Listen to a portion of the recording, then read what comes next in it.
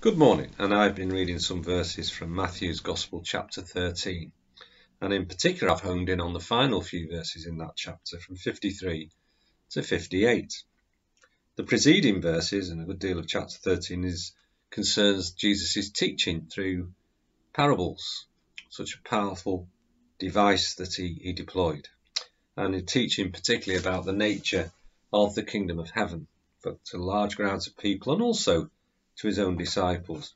And by the time we get to verse 53, he's he's been on a run of, of, of this of this teaching, and um, he goes home to his hometown and get this sense of somebody having worked hard, you know, and um, off they go home. And imagine, you know, yourself having done a hard day at work, and maybe you're driving home or you're travelling home somehow, and um, you think, oh, it'll be good to get home.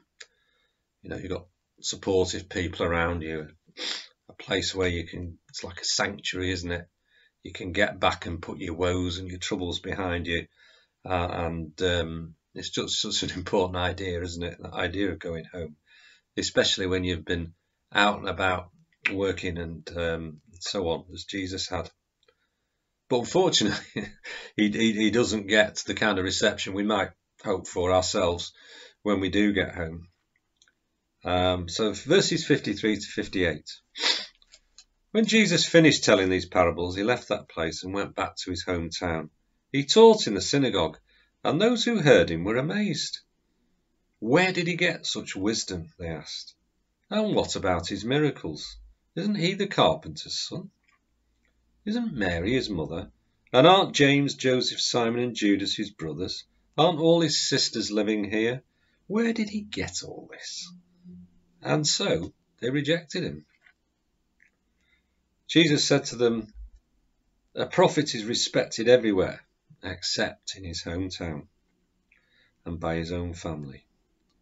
Because they did not have faith, he did not perform many miracles there. I just find those verses quite powerful and, and very sad. Um, because Jesus gets back to Nazareth and, and um, he's um, teaching the synagogue, and and basically people resent it. Who is he? Who does he think he is? You know who he is. Jesus. You know, who's family and here and whatever. You know, where where where did that all come from? And yeah, it's, it's resentment, I suppose, isn't it? And that really powerful form of words that Jesus comes out with. A prophet is respected everywhere except in his hometown. And it sort of brought it home to me really how how important the idea of the, of that place of sanctuary and and security and warmth is to us. And of course, not not everybody has that. Jesus certainly doesn't uh, encounter that in this in this situation, does he? Quite the opposite. But you know, those of us who are fortunate to have that place that we we come back to after the troubles of the world and and so on um, have been upon us. You know, maybe forget sometimes that not everybody not everybody has that.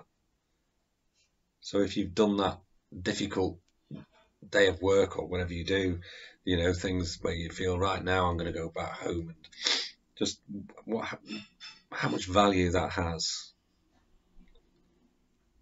And if that isn't there, um, it, it's it's it's must be really really difficult for people.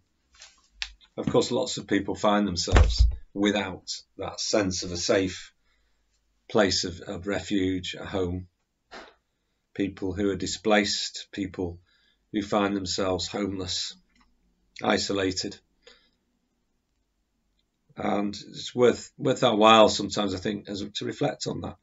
And as we come into Advent, and Christmas beckons. We often associate Christmas, don't we? We're getting together people with people and being at home.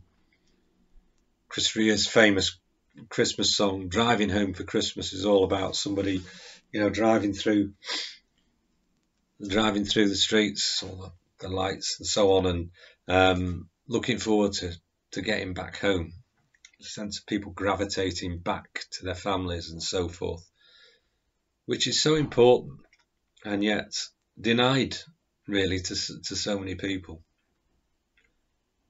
So I'll close today really with that with that thought and that reflection on the nature of home and give thanks for those of us who have that sense of a safe place, a place of acceptance, a place where we're valued.